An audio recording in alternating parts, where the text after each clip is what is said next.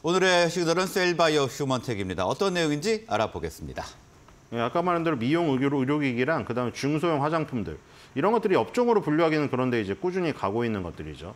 그래서 지금 셀바이오 휴먼텍도 거기에 이제 속할 수가 있는 거죠.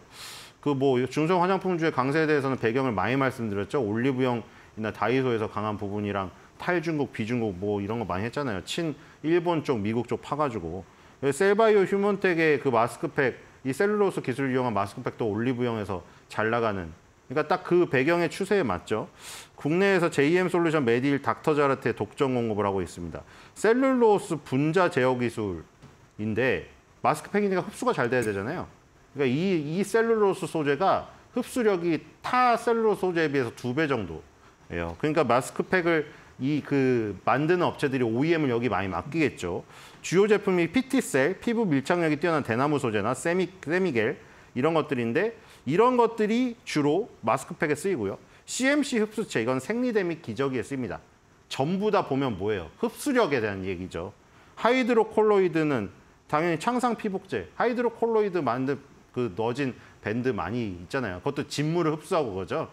그러니까 이거 어쨌든 흡수하는 소재에 굉장히 탁월한 능력이 있는 회사라고 보시면 되고 그래서 결국 마스크가 진입 장벽이 가장 낮고 마지막 단계잖아요. 그렇죠? 그렇기 때문에 후발로 갈 수 있는 부분이죠. 우리 그동안 많이 했잖아요. OEM, ODM이든 중소형 화장품 클리오부터 시작해서 많이 했죠. 그러니까 가장 진입 장벽이 낮고 이 어떻게 보면 마스크팩은 화장하기 전 단계니까 그렇죠? 가장 네. 나중에 갈 수가 있다. 이렇게 보시면 될 것 같아요. 자, 마스크팩 소재를 개발하고 있죠. 아, 셀바이오 휴먼텍 알아보고 있는데요. 가격 전략도 잠깐 살펴보겠습니다. 네, 쭉 내려와가지고 밑바닥을 훑고 또 올라가는 모습이죠. 네. 이렇게 해서 쌍바닥을 그리고 20개월선 돌파를 하려고 하는 모습입니다. 만약에 여기를 돌파했을 때는 6천 원까지도 기대해 볼 수가 있겠죠. 그래서 우리는 밑바닥에서 훑을 때 사면 된다. 이렇게 보시면 되겠습니다. 자, 셀바이오 휴먼텍 6,000원 목표가 제시를 해주셨습니다. 자, 오늘 말씀은 여기까지 듣겠습니다. 수고하셨습니다.